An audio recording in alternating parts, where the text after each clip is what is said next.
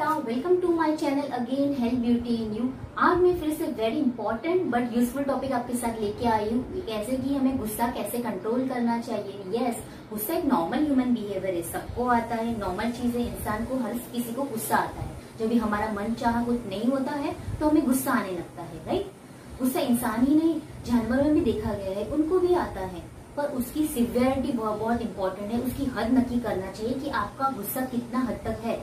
आपका गुस्सा कितना शांत हो जाता है। वो ज़्यादा इम्पोर्टेंट है। आप किसी किसी का गुस्सा ऐसा होता है कि वो वायलेंट हो जाते हैं, चीज़ें फेंकने लगते हैं। तो ये सब मेरे वीडियो में आपके साथ शेयर करने वाली हूँ ऐसी टिप्स जिससे आपको बहुत ही हेल्पफुल होगा कि आपको गुस्सा कैसे कंट्रोल में करना चाहिए। तो मेरा वीडियो पूरा ही देखना और नए हैं तो प्लीज़ मुझे सब्सक्राइब भी कर देना। और साथ ही हो सके तो शेयर कर दीजिए सबके साथ, क्योंकि ये बहुत ही इंपॉर्टेंट एंड यूजफुल टॉपिक है जो सबको देखना चाहिए और सुनना चाहिए। चलो हम हमारे वीडियो स्टार्ट करते हैं।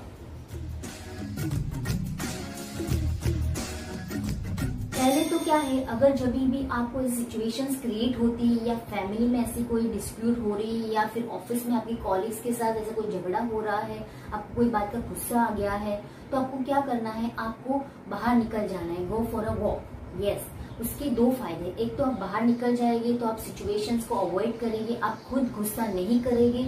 और सेकेंडली जब भी आप वॉक करेंगे, बाहर जाएँगे तो आप नेचर में जाएँगे तो आपका माइंड डाइवर्ट होगा, आपको थोड़ा शांत हो जाएगी। और साथ ही वो जो आप वॉक करेगी, उससे आप सर्कुलेशन बॉडी में बढ़ेगा, जिससे आपका बॉडी प्लस आपके माइंड को वो रिलैक्स करेगा। सेकेंड क्या है? म्यूज़िक यस म्यूज़िक ऐसा चीज़ है ना कि हमारे मूड को वो बूस्ट करता है।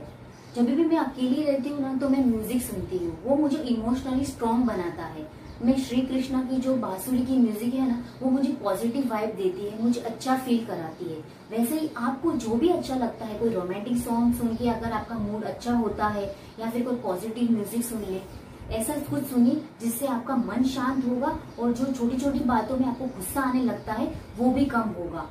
और पर हाँ आपको अच्छे सॉन्ग सुनने हैं, आपको दर्द भरे सैड सॉन्ग नहीं सुनने हैं। आप अच्छा सुनिए अच्छा सुनेंगे तो अच्छा फील होगा। सिचुएशन होती है कि हमें पता होता है कि यार हम ये ज़्यादा कर रहे हैं, बहुत गुस्सा कर रहे हैं। पर फिर भी हम करने लगते हैं, क्योंकि हमारा गुस्सा हमारे, इस पे हावी हो जाता है। तो हमें पता है कि ये अच्छा नहीं है, फिर भी हम करते रहते हैं। तो ऐसी सिचुएशंस अगर क्रिएट हो रही है तो आप क्या करें? आप उसको कंट्रोल करने के लिए ब्रीदिंग एक्सरसाइज स्टार्ट कर दें जैसे कि आपको इनहेल करके मुँह से सांस छोड़ना है।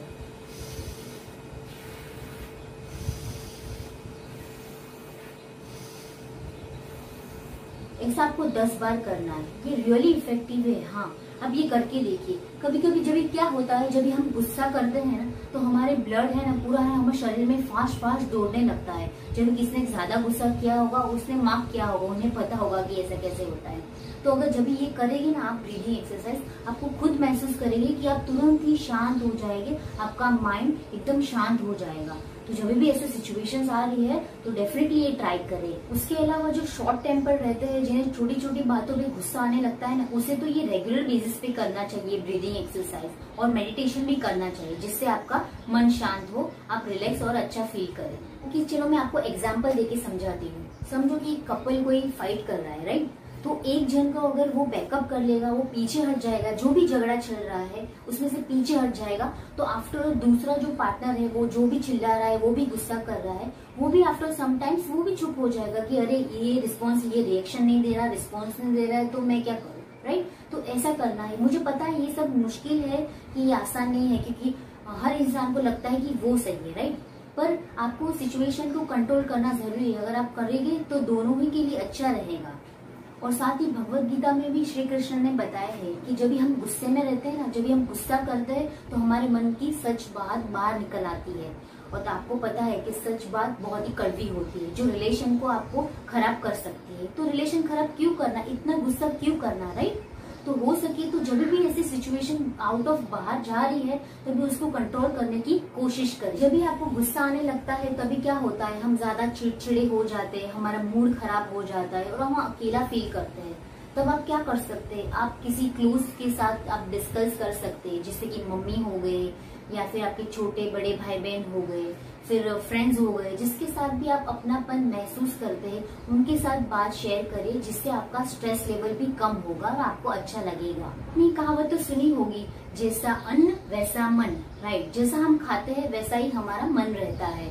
अगर आपके डाइट में आप ज़्यादा मांसाहार नॉन वेज चीज़ ले रहे हैं और फिर मसालेदार ऑयली खा रहे हैं तो वो कहीं ना कहीं आपकी बॉडी के साथ साथ आपके माइंड को भी इम्पैक्ट करता है राइट मैं ऐसा नहीं बोल रही हूँ कि ये सब आपको नहीं खाना चाहिए। आपकी चॉइस आप खा सकते हैं, पर उसकी लिमिटेशंस में होना ज़रूरी है। उसकी मॉडरेशन का आपको ध्यान देना है कि आपको कितना खाना चाहिए। क्योंकि हम जो भी खाते हैं, वो हमारे बॉडी के साथ साथ हमारे माइंड को भी इफ़ेक्ट करता है। अभी अगर ऐसा खाते हैं तो आप मोटे तो होते हैं राइट साथ ही साथ ये जो अभी चेंजेस रहते हैं ना हमारे बिहेवियर पैटर्न में, वो भी कहीं ना कहीं वैसे वो खाने की वजह से वो इम्पैक्ट होते हैं हमारे लिए।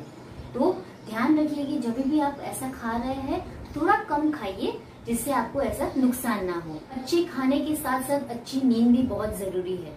जब भी आप कंटिन्यूस काम करते रहते हैं और अच्छी नींद नहीं लेते हैं तो वो आपके शरीर में दिखते हैं, आपका बिहेवियर में भी वो दिखता है। आप बार बार चिड़चिड़े हो जाते हैं छोटी छोटी बातों पे आपको गुस्सा आने लगता है।